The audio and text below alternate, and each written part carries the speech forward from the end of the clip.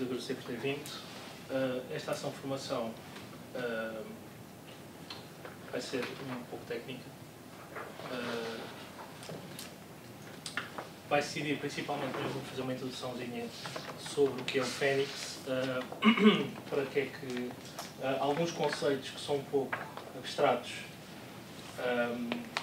de compreender se não estivermos a falar de um sistema de informação e da arquitetura do Fênix. Um, primeiro, como o Luís já introduziu, eu sou o Artur Ventura, este é o João Carvalho. Uh, tem ali os nossos e-mails e o nosso Twitter. Um,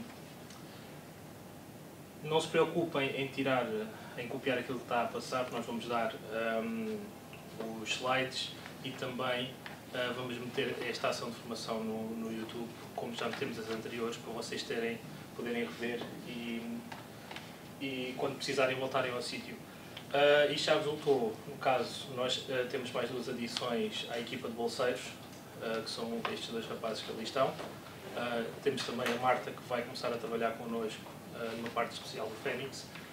e nós no passado já fizemos isto e isto resulta bastante bem, porque permite às pessoas voltarem, quando têm uma dúvida, voltarem ao sítio e rever exatamente aquilo que, um, que falámos.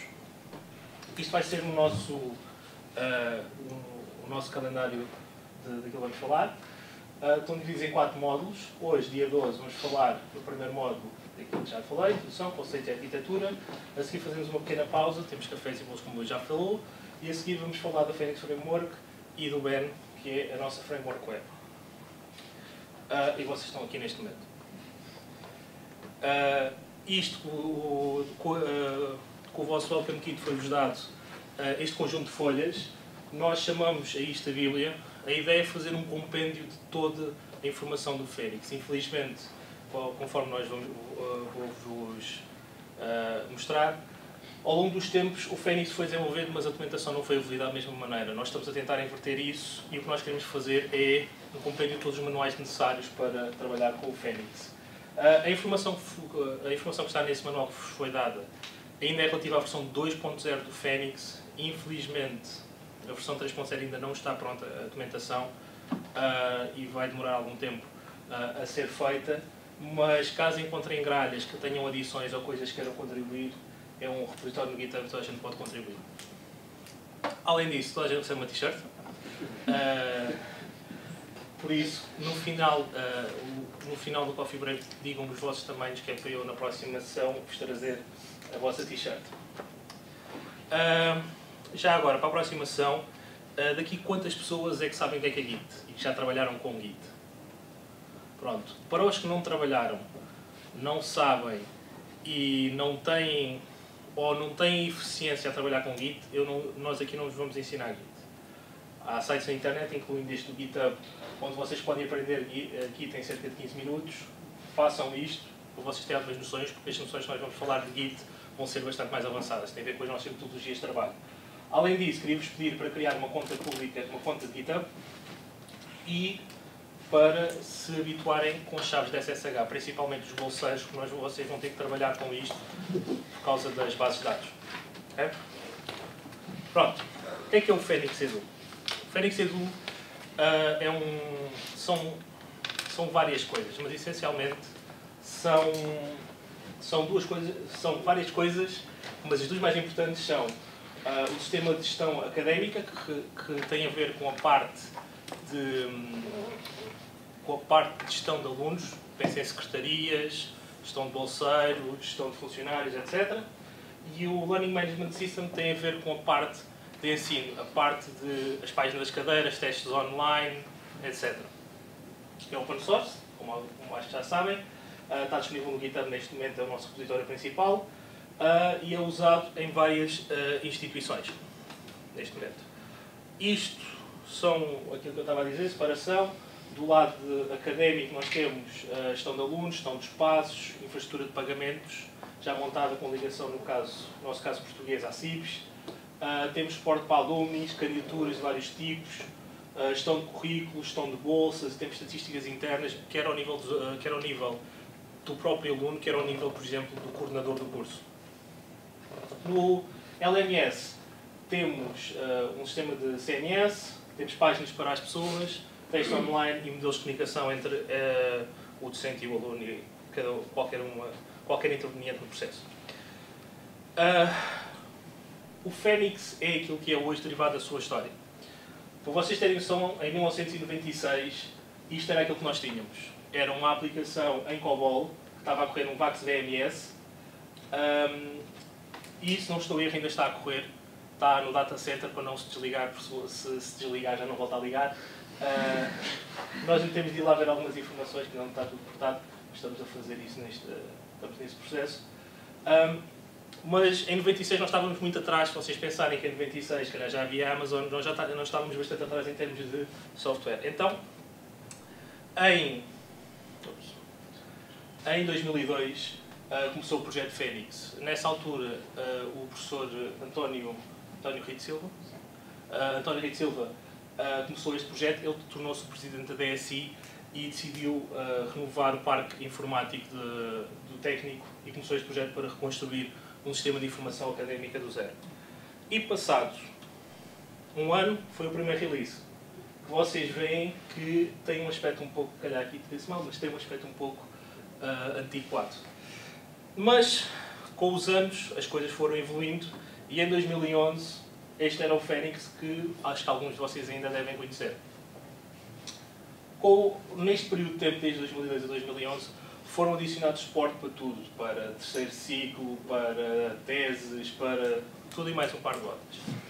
O problema é que nós começámos a identificar que o custo de adicionar novas coisas ao Fênix estava-se a tornar muito alto. Outra coisa engraçada é que o Fênix não arrancava por si só, precisava de uma base de dados associada.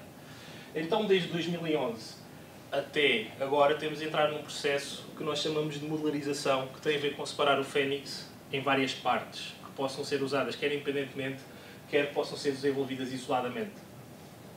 Um dos primeiros passos que nós vamos falar tem a ver com passar as coisas para o Git, tem a ver com adotarmos outro sistema de compilação com motor de dependências, etc. Mas, em 2013, nós criámos um novo foco do nosso projeto em termos de divulgação, em termos de, de criar um projeto para a comunidade que outra escola possam, possam não só utilizar, não só escolas portuguesas, mas escolas estrangeiras. Um, e adotámos esta nova, este novo logotipo. O ano passado, em outubro, lançámos a versão 1.0, que foi basicamente um tag a dizer temos a versão 1.0. E passado 3 meses, lançámos a 2.0. Esta foi a primeira versão, perdão, quer dizer, foi a segunda, se considerarmos que a primeira foi em 2002. Mas esta foi a primeira versão do Fênix que realmente arrancava. Que a pessoa tinha um procedimento, como vocês podem ver na, na, na Bíblia, no capítulo de Getting Started, era um, um, sistema que arrancava e permitia criar cadeiras, cursos, etc., tudo online. Uh, neste momento, nós estamos no processo do Fênix 3, mas nós estamos aqui ainda. Uh, esperamos, dentro de dias, passarmos aquela bolinha para o outro lado. Uh, o Fênix 3 vai trazer, uma, vai trazer montes de features novas. Toda, todo, toda a parte infraestrutural de Phoenix foi repensada e tem uma, foi uh, refeita do zero e tem uma performance brutal, melhor, melhoramentos de performance incríveis, foi o João até que fez.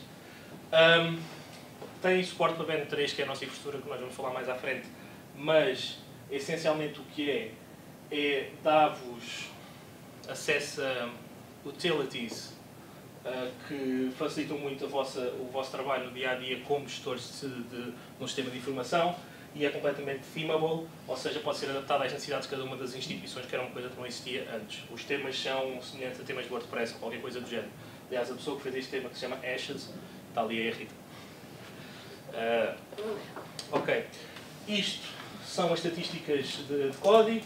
Temos é um projeto Java, como devem imaginar. Só vos queria apontar para este pormenor aqui, se vocês repararem, no final há um decréscimo brutal de, de classes. Isto tem, tem, tem, tem, a ver com este movimento que nós estamos a ter de, de repensar o Fênix. Estamos a fazer muita limpeza, a tirar muita coisa que já não interessa, coisa, a introduzir coisas novas, tecnologias novas, e ali é um exemplo. Outra coisa interessante também tem a ver com este processo de modularização está a fazer com que, naquilo que antigamente o Fênix era um bolo só, sozinho, neste momento nós estamos a parti-lo em peças e isso faz com que o tamanho do projeto diminua. Uh, isto é algumas das tecnologias que nós usamos, em particular Struts e JSF são algumas das tecnologias antigas de apresentação que nós tínhamos. Neste momento estamos a portar tudo para Spring e Spring Compatible, embora o Ben suporte qualquer tipo de tecnologia de apresentação, é pluggable. Uh, mas nós estamos a querer ver se nos livramos disto, mas tendo em conta uh, o spawn código, como eu vos mostrei, é bastante difícil. Um, Java, JSPs. Nós normalmente trabalhamos com Eclipse e temos algumas utilities para o Eclipse, mas também não é nada. Podem trabalhar com qualquer ideia que achem melhor. Utilizamos Git e, em particular, no caso dos bolseiros, ou melhor, no caso de toda a gente que queira contribuir, vão ter que fazer uh, pull requests para, para nós. Se encontrarem coisas mal, erros e tal, façam pull request, nós aceitamos. Uh, utilizamos containers como o Tomcat e o Jetty, uh, desculpem, o Tomcat e o Jetty como uh, containers e o Maven para, para o sistema de billing e para os sistemas de gestão de dependências. As bases de dados, originalmente e até há pouco tempo estávamos a utilizar uma MySQL. Em desenvolvimento estamos a utilizar uma MariaDB que tem performances muito melhores. Se vai entrar em produção ou não, não sabemos, mas uh, é possível que sim. Eles são completamente compatíveis, portanto podem utilizar o que vocês quiserem. Agora queria-vos falar um pouco acerca dos conceitos do, do Fênix. Porque falar de uma faculdade é uma coisa um bocado confusa se não souber realmente o que é que estamos a falar. Vou dar, por exemplo, que é que é um curso. Vocês todos, se eu, disser, se eu vos pergunto, desculpem, o que é que é uma cadeira? Se eu vos perguntar o que é que é uma cadeira, toda a gente diz que sabe, mas ninguém sabe realmente o que é. Exemplo, expor por hipótese vocês têm cálculos e estão a implementar o Fênix, ou estão a implementar um sistema de informação semelhante ao Fênix para a vossa faculdade. Certo? Como é que vocês fazem para associar, para, para montar aqui um professor, um aluno e um, um, e um curso. A vossa reação provavelmente seria fazer isto. Cadeira. Tem um aluno, tem um professor e tem um curso. Qual é que é o problema? Bem, vocês metessem isto em produção, tudo funcionava bem, o professor dava aulas, o professor dava aulas, até que havia um aluno que chumbava. O que é que acontecia?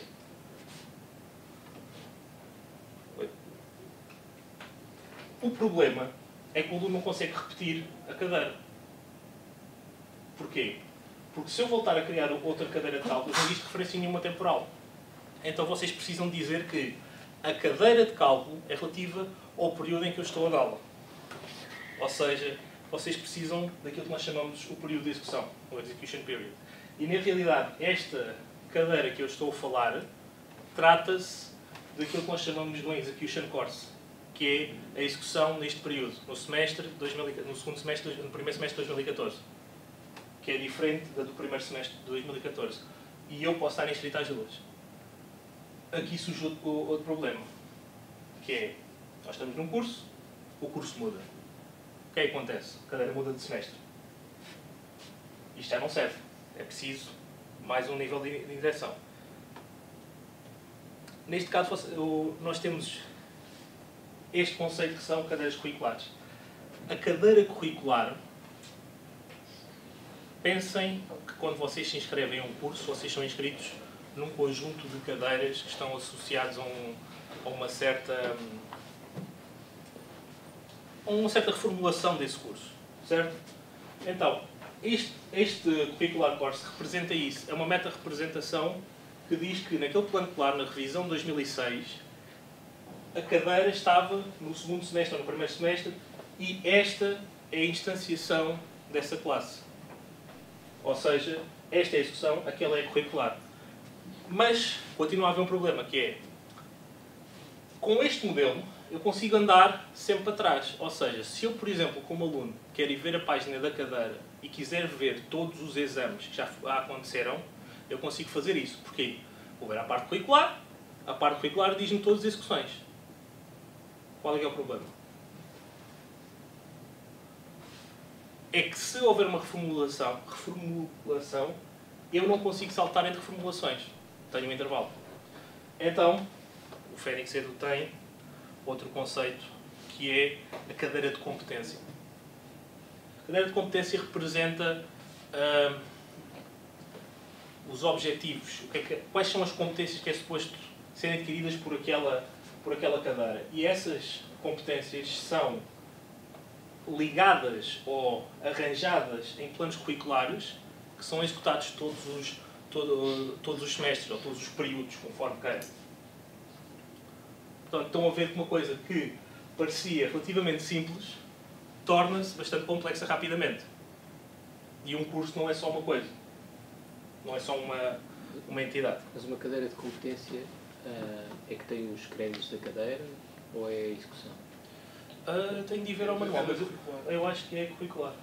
Ela pode variar conforme as revisões. Então, mas as revisões dos planos são feitas como? São criando várias instâncias de São criando de novos planos curriculares. De, são várias instâncias da curricular course. Então. Exatamente. Exatamente. Eu não percebi o que é que serve a competência. Eu estava a perceber tudo até à competência. A competência é só para garantir que eu consigo saltar, que eu consigo ter uma associação entre as curriculares deste, desta revisão e as curriculares da revisão anterior. Ok. Só para estabelecer uma ligação entre o passado. Exatamente. Porquê? Porque elas conceptualmente são mais ou menos a mesma coisa. Cálculos não muda. Eles podem mudar de sítio, podem arranjar os créditos, mas conceptualmente as competências que aquela cadeira dá isso é não por causa mudam. de estabelecer equivalências, entre aspas, para passado. Sim, pode ser visto Tem, dessa tem, forma. muito, tem muito jeito, dá muito jeito para isso, não é? Também, dá, também pode servir para isso. Mas conceptualmente é a competência, o que é que aquilo dá? Eu se fizer esta cadeira, o que é que eu ganho? Ganho conhecimentos. Tanto é que os objetivos da cadeira são definidos neste nível. E os nomes, os nomes podem ser diferentes. Entre hierarquia? Sim. Não. Senão não é a mesma cadeira. Sim, mas o que eu quero dizer é que às vezes podia ser, diremos, competência cálculo e há um ano em que a cadeira tem que se chamar cálculo 1, se calhar no outro ano a seguir chama-se cálculo para... Não. assim. Aí são a competência, elas parecem que são a mesma coisa, mas não são, porque tem a ver conforme. Quando eu digo que fiz o curso de Engenharia Informática, é suposto eu ter feito um cálculo. Sabes Pois. que eu sei que eu fiz um cálculo. Pois, consoante hum, a especificidade que eu quero, eu posso dizer, eu fiz cálculo, mas tem a ver com esta revisão curricular, tem a ver Sim, com a sim, revisão eu não- Eu não 2006. perceber porque é que a competence course não, não está ligada... Ou seja, quando eu quero mudar as competence courses, Sim. qual é... Porque que- quando é, quando é que há necessidade de mudar as competence courses? Ou se há necessidade de aparecer novas ou apagá-las? Hum, Eu percebo, eu percebo a natureza da criação das curricular courses. sim. É, para mim é transparente. Agora, a criação das competências associada a um departamento, estamos a falar de um departamento de professores, não é? Sim. Um departamento que dão cadeiras daquela área científica, ou de matemática, ou de Sim. biologia. Há aqui, aliás, é? há aqui outra arquitetura por trás, não está a aparecer isto, não é assim tão simples quanto é uma, uma Sim, simplificação. não, mas eu, eu entendo por departamento, estou a falar de um departamento de professores, não é? É isso, não é? Sim. Né? Ou de uma área científica em específica. Um não é? departamento em áreas científicas e, as, as competence courses estão associadas a áreas científicas. Pronto, tudo bem, mas independentemente disso, essa competência course porque é que está associada ao departamento? Porque ela pode ser oferecida a mais que, uma, a mais que um curso. Há, há departamentos, por exemplo, o departamento de, departamento de Engenharia Química dá o curso de Engenharia Química e o curso de Química. Sim, sim. E a competência pode ser dada ou ao curso de Engenharia Química ou ao curso de Química. As pessoas que fazem esses cursos têm que ter a competência de saber cálculos. É que, para mim o que falta aí é o curso, mas que deve ser o curricular plan, não é? Afinal, ao cabo, o curso por Não, si. o curso é o degree. Ah, é que o degree estava a pensar que era o grau. O Não, grau- não, não, não. Isso, as nomenclaturas aqui também temos problemas, tendo em conta que foram feitos há 10 anos. Mas Ah, não, ok. o degree é o curso. Ah, é o o curso por si. é o curso por si. Ah, ok. E depois o próprio degree, embora eu não vá falar disto aqui, o próprio degree Ah. tem execuções. Porquê? Porque o curso muda, por exemplo. Sim, sim. Há uma mudança de...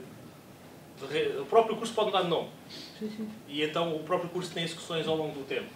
E vão ser essas execuções estão ligadas aos planos curriculares, os planos curriculares pessoais. há ali uma coisa ali no meio que não está, não é? Exatamente. Eu estou aqui a, a- a- eu estou a fazer simplificações aqui para se perceber que uma pessoa quando vai olhar, que é o que eu vou mostrar mais à frente, uma pessoa quando olha para o domínio do Fênix, sente-se um bocado, epá, estes tipos andaram para aqui a fazer coisas que não lembram o menino Jesus. Questão é que para poder representar certo tipo de problemas, eu necessito destas abstrações, porque senão não consigo representar mudança de curso. Porque o problema é, eu posso ter um sistema que não tem, por exemplo, ah, esta parte, mas depois fico com inconsistências dentro do sistema. Eu não consigo navegar, em termos de LMS, eu não consigo navegar para trás. Há um ponto, há uma descontinuidade. Então, a ideia é criar abstrações que consigam representar isso tudo. Ah, mas, mais uma vez, é um modelo simplificado e falta aqui coisas. Mas pronto, Desculpa, só, só o, fator temporal está ligado a que conceito? Ou competence? Ou, ou o, o semestre. Não, o ano letivo. Ah, há, outra, há os execution periods.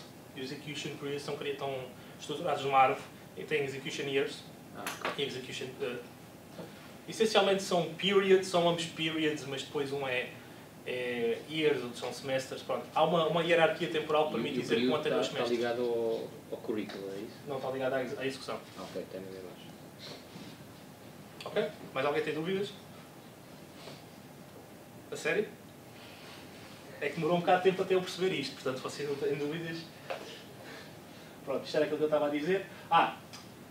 ah, vamos pôr por hipótese que vocês têm um docente, que é uma coisa que acontece aqui no técnico e nos acontece, que necessita de dar mais. Um docente dá aulas a mais que um curso. O exemplo de cálculos é o mais óbvio, que é os docentes de matemática, em vez de darem aulas hoje de informática, outras aulas hoje de engenharia civil, têm uma aula que dá para toda a gente.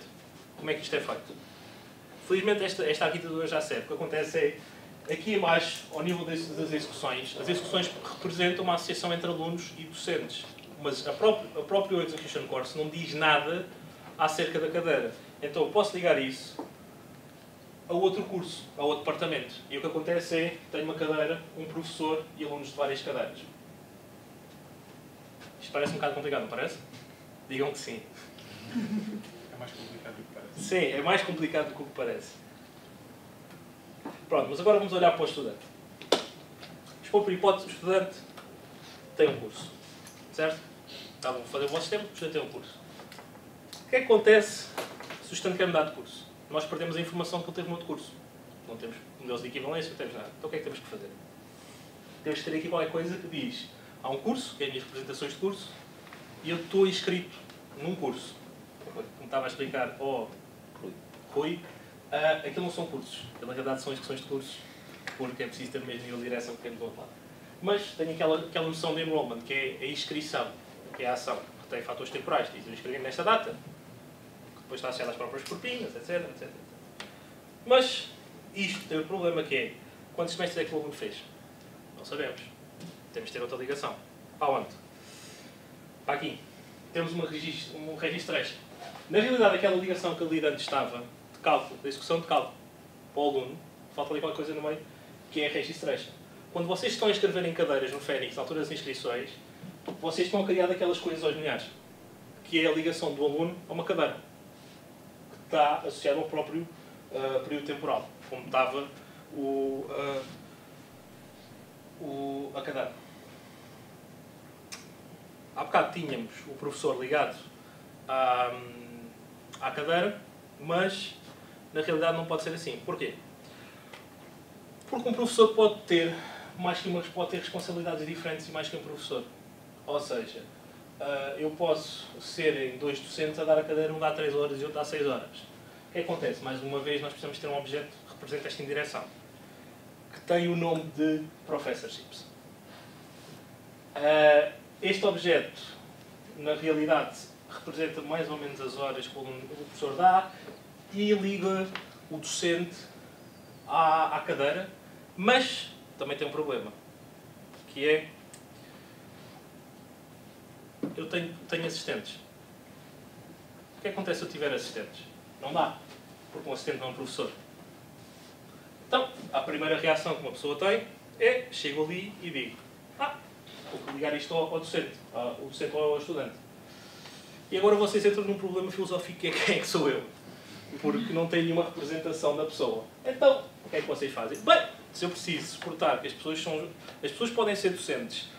Há pessoas que são docentes e há pessoas que são alunos, então vou inverter isto tudo e dizer, tenho uma pessoa, a pessoa tem objetos que representam os meus estados, por exemplo, o professor aqui representa ah, as obrigações contratuais dele com a instituição, este objeto de professorship continua a representar as obrigações que ele tem perante as cadeiras, ou seja, é as coisas que eu tenho que fazer em termos ah, de, de execution course, e o estudante é quando uma pessoa é estudante e cada um pode ter várias peças destas. Eu, por exemplo, tive alturas em que fui estudante e tive professorships. Mas não tive, nunca fui professor.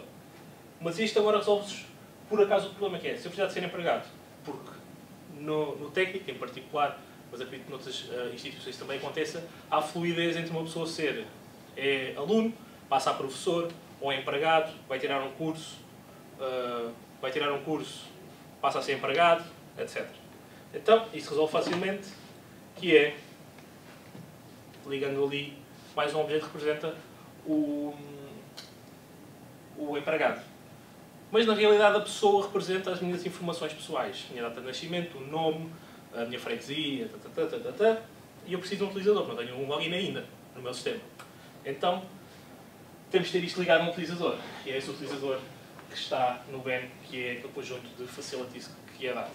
O que é que eu tive aqui nesta linha toda? Porque isto é bastante complexo. Isto é muito complexo.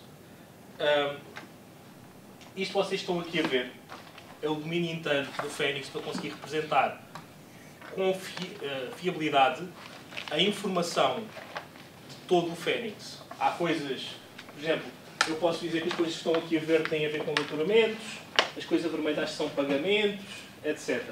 E aquele objeto que nós estávamos a falar, que é a pessoa, que representa, que é um dos conceitos mais fortes dentro do Fênix, é aquela bola azul que ali está. Certo? Um, e eu agora vou-vos passar à parte da arquitetura. O João, em particular, vai, vai entrar em mais detalhe acerca de, das questões de domínio, mas é para vocês só vos explicar que isto é confuso, os conceitos são complicados, mas já, já, já perceberam alguns dos conceitos que eu não percebi assim que entrei para cá. Está bem? Pronto, agora eu, João, a vez João falar. Boa tarde. Alguém ficou com alguma dúvida esta parte? Já sabe. Pronto. Um, para vos falar da arquitetura atual do Fênix, temos que, temos que voltar um bocadinho atrás no tempo. Em particular, há 12 anos atrás, àquela versão inicial. Há 12 anos atrás, a arquitetura do Fênix era qualquer coisa como isto. Estávamos em, estávamos em 2002, o conjunto de tecnologias disponíveis não, não, era, não tinha nada a ver com o que é possível hoje em dia. Um, tínhamos a base de dados lá embaixo, imediatamente por cima da base de dados tínhamos uma usávamos uma framework da Apache chamada OJB, que fazia todo o mapeamento entre, entre a base de dados e os objetos de domínio. Por cima, tínhamos uma camada, uma camada aplicacional onde fazíamos todo este, onde estava implementada toda a lógica de negócio. Onde estava implementada toda a lógica de negócio e onde, onde era feita toda a interação com onde era feita toda a interação com, com a base de dados. Ou seja, sempre que queriam mexer uh, em algum objeto domínio, teriam que passar por aquela camada de aplicação, nunca poderiam passar dali. E por cima tinham a camada de apresentação baseada no, baseada no Struts 1, de há 12 anos atrás, que entretanto já foi inclusive é descontinuado. Um, e era um pouco caótico. Porque para, para mostrarem ao utilizador um pedaço de informação que estava no domínio, tinham que passar por vários níveis de direção Imaginem, por exemplo, que dado um utilizador querem mostrar o nome dele. Teriam que ir à camada de aplicação, invocar um serviço para dizer dá-me o nome do utilizador, e isso teria que ser passado num daqueles DTOs. Isso, por sua vez, tinha que, tinha que criar um outro POJO, um, obje, um objeto simples que no fundo representava o objeto domínio, que iria à base de dados realmente ler uh, o nome da pessoa e isto tornava-se bastante caótico. Cada, desenvolver cada nova funcionalidade requeria apenas todos estes simples passos que eu, por questões de brevidade, não vou enumerar. Mas que to, todos, percebem, todos percebem, ou até algum ponto já devem ter, devem ter experienciado como é que é usar algumas destas tecnologias um pouco mais antigas. Um, para resolver este problema, e um, de acordo com o que foi dito pelo professor Rito na altura, foi desenvolvida uma framework in-house chamada a Phoenix Framework, que trata de toda, trata de toda a indireção e, de todo, e trata de fazer toda a magia entre a base de dados e os, e os objetos de domínio. Ou seja, os objetos de domínio que nós, que nós definimos na camada de domínio já, já passam a poder ser utilizados diretamente tanto na camada da aplicação, se quisermos continuar a mantê-la, como diretamente na camada da apresentação. Ou seja, se neste, neste cenário, se queremos ir mostrar o nome da da pessoa, temos simplesmente que ir buscar o objeto que representa a pessoa e na camada da apresentação podemos diretamente pedir o nome para ser mostrado numa página, ou seja no que for. Um, esta arquitetura permitiu que a aplicação crescesse bastante mais rápido e, como vocês já viram no gráfico ali atrás, chegou a um ponto onde o ritmo de aceleração do crescimento foi bastante elevado. Um, neste, neste, modelo, neste modelo da Phoenix Framework, uh, todos, todos os conceitos são. Desculpa, todos, todos os objetos são mapeados como, como estariam à espera. Tem um objeto que representa o utilizador, tem um objeto que representa a pessoa, tem um conjunto de ligações entre eles e, como vocês viram, rapidamente, isto que inicialmente era relativamente simples, rapidamente cresceu para um diagrama semelhante ao que, ele, ao que o Arthur mostrou há pouco. Um, ter toda esta arquitetura monolítica, que até desde, em 2011 ainda era assim, desde aí é que realmente começámos a, começámos a reformular toda a parte interna, tínhamos grandes problemas. Tínhamos tempos de compilação enormes numa máquina, numa máquina de desenvolvimento normalíssima. Não era, não era estranho estarmos a demorar 15 minutos cada vez que queríamos compilar o Phoenix. Tínhamos grandes requisitos de memória, mesmo, mesmo para a altura e mesmo demorando esse tempo todo, aquilo consumia quantidades de memória relativamente absurdas. Um, e era, era complexo de expandir, de expandir a aplicação. O que, é que, o que é que isto significa? Se, dada aquela, aquela instalação, aquele conjunto de funcionalidades que nós chamamos Phoenix, se outra instituição ou outra pessoa, seja o que for, quisesse fazer a sua própria versão, teria que fazer um fork e garantir que esse fork estava constantemente atualizado com as, com as versões do upstream, o que tornava bastante complexo adicionar novas funcionalidades e fazer toda esta manutenção. Um, havia também um, gran, um grave problema, é que como estava tudo dentro do mesmo bolo, como estava tudo ligado a tudo, não havia, não havia muito bem o conceito de encapsulamento.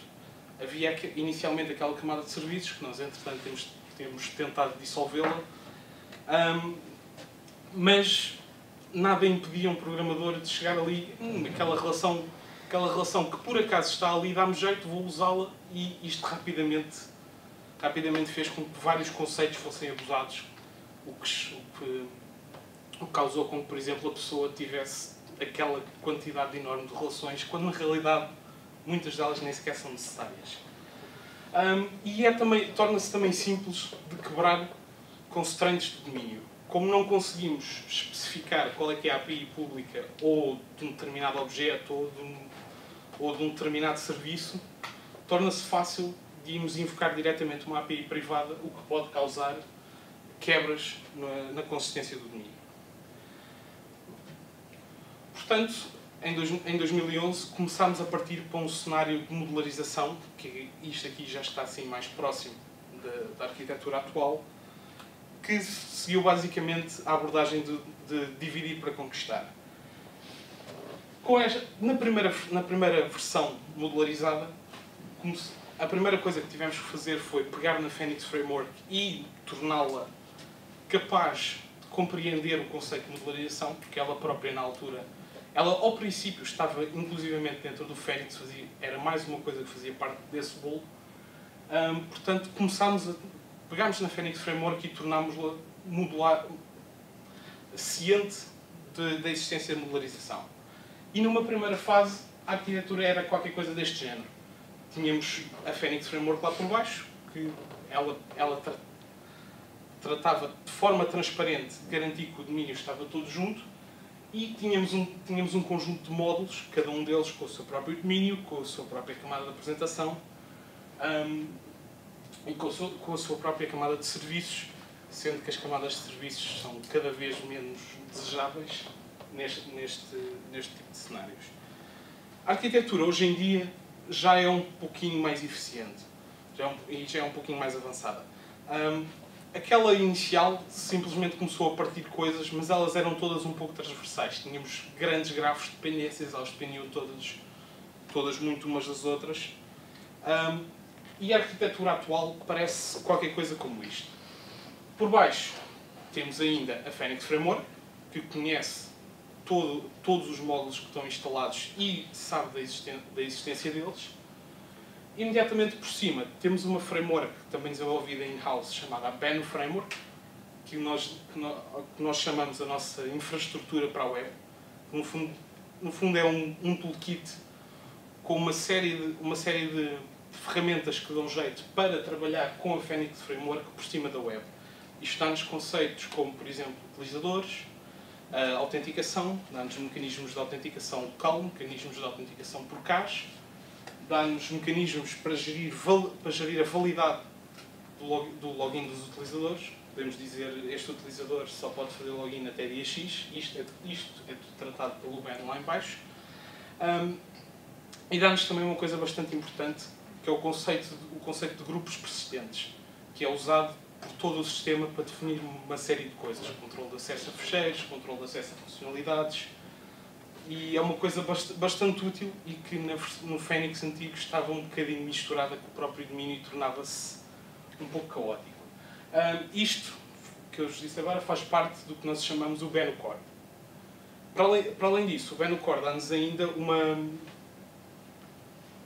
Dá-nos ainda toda a configuração já necessária, portanto não temos que nos preocupar com isso, para podermos facilmente criar web services REST, que podem ser usados tanto para aplicações externas, como para o desenvolvimento de aplicações um, client-side que interagem diretamente com endpoints REST.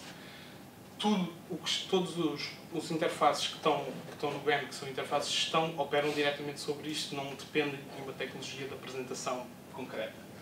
Uh, temos também o um outro módulo dentro da Ben Framework chamado o BenYO, que no fundo, é, no fundo é um sistema para gestão de fecheiros transacional, para garantir que, por exemplo, ah, dentro da, dentro da Phoenix Framework, uma transação pode reiniciar por conflitos ou por falha, falha de interação com o sistema externo. O BenYO dá-nos todo um sistema para, para termos fecheiros guardados num file system persistente, mas que são aware da, da transacionalidade. Ou seja, se houver um restart, não vamos estar a reescrever o mesmo fecheiro constantemente uh, e garantimos também que o, o, acesso ao fecheiro não é feito de forma concorrente e que possa trazer problemas. Uh, temos também um outro módulo chamado Scheduler, que é que ele depois, ele depois vai explicar esta parte com um bocadinho mais de detalhe, que no fundo é um módulo, um módulo para gestão de tarefas, coisas, coisas que têm que executar de hora a hora, como por exemplo o envio de e-mails, esse, aliás, esse é de minuto a minuto, mas, uh, o envio de e-mails, tarefas de reporting, esse tipo de coisas.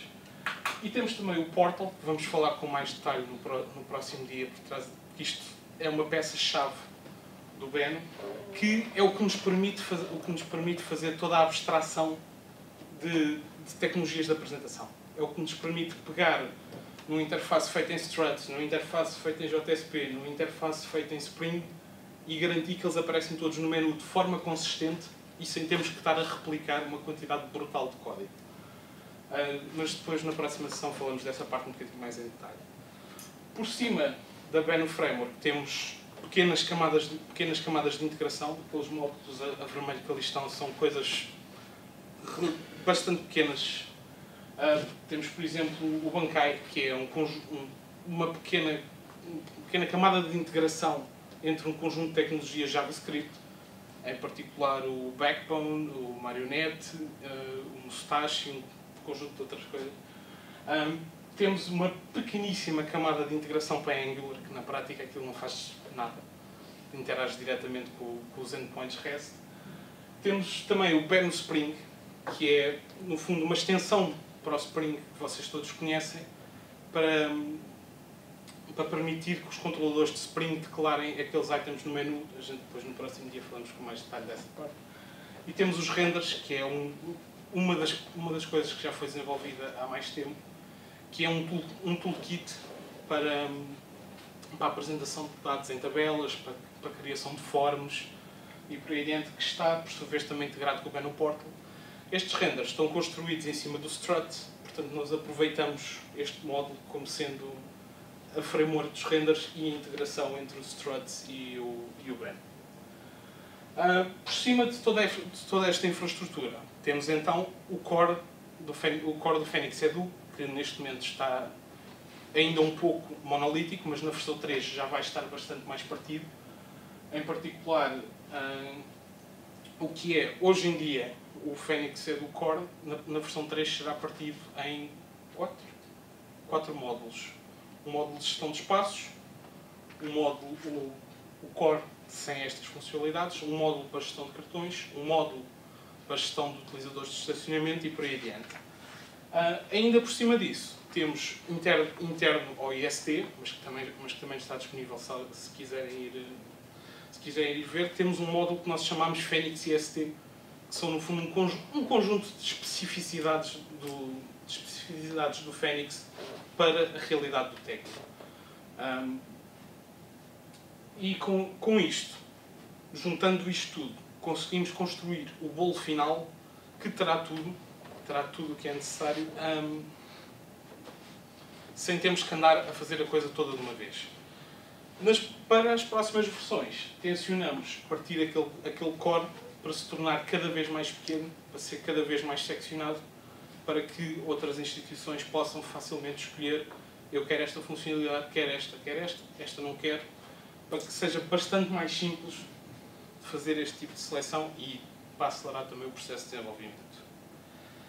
Um, como é que o domínio em si é modularizado? Como é que nós, como é que nós dizemos que como é que nós dizemos que domínio é que faz parte de cada módulo? Cada módulo pode definir o seu fragmento de domínio. Na, na sessão a seguir ao Coffee Break vamos explicar como é que como é que funciona toda esta parte de domínio, como é que funciona a Phoenix Framework e vamos ver com um bocadinho mais de detalhe uh, o que é que isto significa em concreto. A apresentação, tal como eu vos disse há pouco, isto é tudo feito pelo Beno Portal. uh, cada módulo pode definir o seu conjunto de funcionalidades. O Beno Portal, por sua vez, consegue fazer auto-discovery e, e, a partir dos módulos, do conjunto de módulos que estão instalados, descobrir o que é que pode apresentar no menu, o que é que está disponível para, para os utilizadores. Uh, sim, cada, cada módulo tem a sua, tem os, cada tem os seus interfaces, ou se seguirem a abordagem que nós seguimos na, na Framework lá mais abaixo, cada módulo na realidade são dois módulos, um com domínio e com lógica, outro com outro com só com a parte de interface. Nós neste momento fazemos isso apenas no core por se tratar de coisa, por se tratar de uma coisa bastante transversal, mas fazer essa separação nem sempre, pode nem sempre ser uma coisa trivial. E pronto, bem no Portal vamos falar disso mais na, na, próxima, na próxima sessão. E como é, que, como, é que na, como é que isto se junta tudo? Como é que nós na realidade pegamos em todas aquelas peças para criar a instalação final? Bem, felizmente conseguimos fazer isto apenas com Maven. Conseguimos apenas com o modelo de compilação base do Maven e um pouquinho de ajuda para o Maven conhecer a Phoenix Framework, conseguimos, criar, conseguimos facilmente juntar estas peças todas. Uma instalação não passa simples, simplesmente de um projeto Maven que depende de vários daqueles módulos, de várias daquelas caixas. Pronto, depois tem, tem configuração a configuração de ceia da aplicação, como os dados da base de dados, o endereço da instituição e por aí adiante, mas a instalação não passa simplesmente de um módulo Maven que depende, que depende de tudo o que é necessário. Uh, isto é só para, para dar um pequeno, um pequeno exemplo. Isto é a árvore, de dependências de um dos módulos do BEN. Eu sei que isto aqui parece um pouquinho caótico, mas é porque muitas delas também estão, também estão replicadas.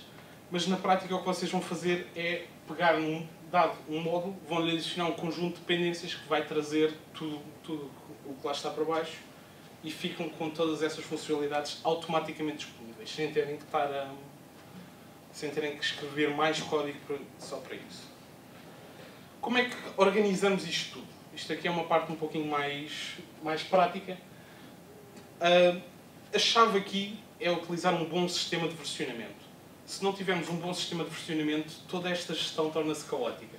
Porque, como vocês viram ali, um, um dos módulos mais core tem um conjunto de dependências enorme. Se não tivéssemos uma, um conjunto de regras claros para definir, um, para definir o versionamento, não seria possível gerir isto. Portanto, nós usamos uma, uma, um mecanismo bastante standard chamado Semantic Versioning, que é constituído basicamente por três números. O major, que só muda quando a API de um módulo do módulo muda, como por exemplo na versão 3.0 do Phoenix Core que vamos lançar agora, que vamos quebrar APIs particularmente porque vamos extrair coisas de lá e porque foram feitas outras limpezas. Um, temos também versões, as versões minor, que é quando estamos a adicionar API a um, a um determinado módulo, API pública, atenção, não, não a parte da implementação privada, um, mas que fazer upgrade para estas versões tipicamente hum, é um processo simples, não, não tem qualquer quebra, os vossos módulos não, não serão quebrados ao fazer upgrade para esta versão. E depois, por fim, tem a versão Revision, que é dedicada apenas a pequenos bug fixes, pequenas correções, coisas que não envolvam mexer na API pública do módulo. Atenção, que quando eu digo aqui API pública, uh, cada módulo tem que definir muito bem o que é que, o que, é que entende como sendo, a, como sendo a API pública. Tem que, tem que dizer explicitamente, eu exporto este conjunto de classes. Por exemplo, o Phoenix Educore vai exportar todo aquele domínio que vocês viram ali para gerar aquele para gerar todo este modelo relativo a cadeiras e a cursos e afins. Um, Enquanto, por sua vez, tem também a API interna, toda a parte de implementação, que essa aí não deverá ser utilizada por, por módulos externos. Quem desenvolve os módulos também deve, deve fazer algum esforço para que, para que isso fique mesmo escondido, para que não seja mesmo possível. Todas estas regras aqui aplicam-se única e exclusivamente à API pública. Portanto, se vocês no vosso módulo usam a API privada de outro módulo, aí estão por vossa conta e não, não, nem, este, nem todos estes mecanismos vos safar. Questões?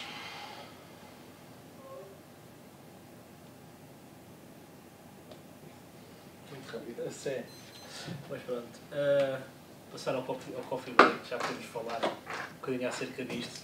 Mas, como vocês devem ter visto, uh, isto não é particularmente fácil porque nós estamos a falar de muitas peças que têm de funcionar em conjunto para pôr isto tudo a funcionar. E a separação que aqui o João teve a falar da modularização tem a ver particularmente com a nossa necessidade de evoluir as coisas de forma independente, porque senão uh, as pessoas abusam do, de, das coisas que têm. Mas pronto.